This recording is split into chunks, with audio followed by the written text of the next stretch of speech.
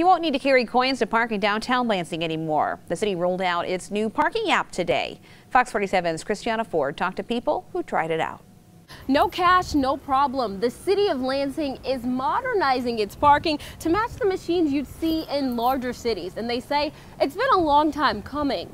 Lansing's time is now. Some drivers are totally prepared to pay for parking through the city's new app. It was pretty easy. I went to the Lansing parking website to get the app downloaded and get everything pre-made ahead of time. So I just had to find the um, zone area and the parking spot. Others caught completely off guard. I'm a little bit late for my meeting, so I didn't expect to have to figure out how to park, but um, it, it was easy to use. The biggest change, the traditional meters are out and the Passport parking app for smartphone users to pay directly from their device is in. I do not carry change at all, so this is actually very convenient for me. 136 shiny new parking machines phased in throughout the year, costing the city $1.5 million. The city has had pay stations for almost 11 years. The only difference is the new machines are more modern.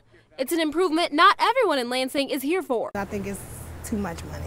You know, it's other things that could be put into Lansing other than the parking. I mean, I think it was fine like it was. Mayor Andy Schor says it will make lives more convenient. You come in, you park, you throw the zone number into the app, you go into your meeting, you go have lunch or whatever it is. Um, if you didn't put enough time on, you can add time to it. Uh, it's just a lot easier than having to run out and throw change in the meters and use the old parking keys that sometimes worked and sometimes didn't. The city says this is a new program, so they're asking people to bear with them and report any problems. In Lansing, Christiana Ford, Fox 47.